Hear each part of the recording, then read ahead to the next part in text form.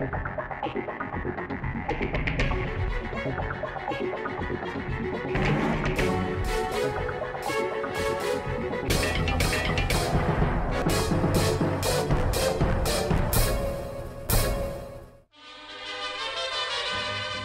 paso más en el quehacer de la política constructiva fue el que dio el Ayuntamiento de Sultepec en la comunidad de Jalpan, al inaugurar la obra de construcción de concreto hidráulico de la calle que lleva hacia el Jardín de Niños de la Manzana del Corral de Piedra. Al cortar el listón inaugural, el presidente municipal Gustavo Sánchez Betancourt puso de manifiesto el trabajo que está haciendo en beneficio de todas y cada una de las comunidades de Sultepec. Estamos trabajando fuertemente y que lo estamos haciendo por el bien de todos ustedes, porque así es el lema de nuestro gobierno. Bien, de tal manera que están los, los avances, están viendo, ¿no? De alumbrado, encementados, ya está bajando el recurso para las obras que se están planeadas aquí en Jalapa.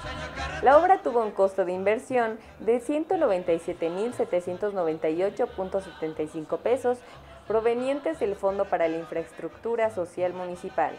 Asimismo, para el presente año se realizarán dos obras más, la rehabilitación del sistema de agua potable con un costo de 150 mil pesos y un concreto hidráulico en el centro equivalente a 200.804.35 pesos.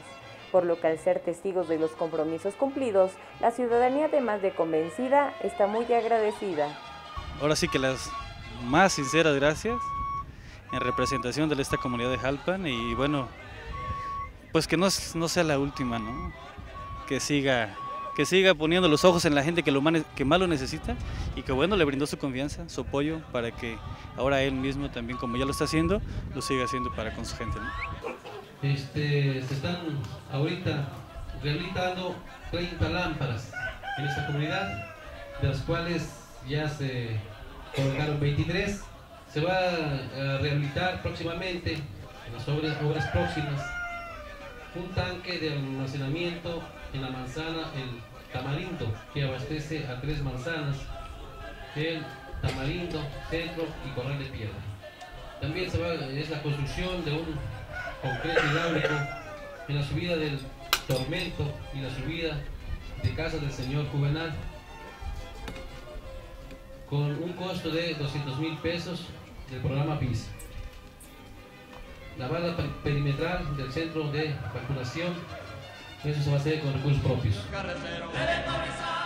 Pero el H Ayuntamiento sabe que esto no sería posible sin el apoyo de la gente, los delegados y las autoridades auxiliares. Que está bien y que le sigamos echando ganas. O sea, pues hay que, hay que hacer algo. Que la demás gente note que sí, estamos haciendo algo por nuestras comunidades. Con esta obra se cumple un compromiso más expuesto en campaña. Esperamos que así se siga trabajando para mejorar el porvenir de Sultepec. Para Visión de Altura, Daniela Hinojosa Arago.